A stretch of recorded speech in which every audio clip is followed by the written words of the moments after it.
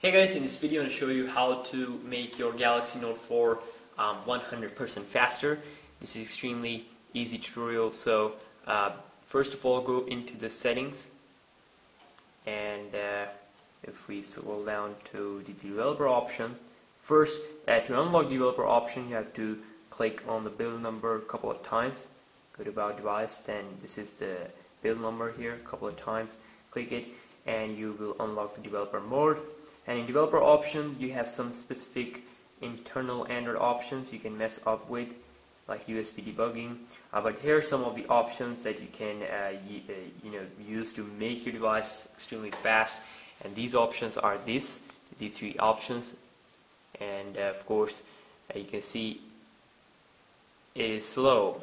It will show some animation, but of course, if I want to make it fast, uh, I have to you know turn it off or maybe turn it slow. Let's try to turn off these three options.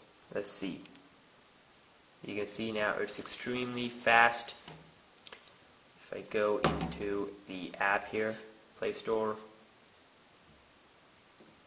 extremely app uh, extremely faster actually. You can see that is 100% faster now and if I, if I compare it with some other devices like the iPhone 6 it will be more and more faster you know. No animations extremely fast. Lightning fast.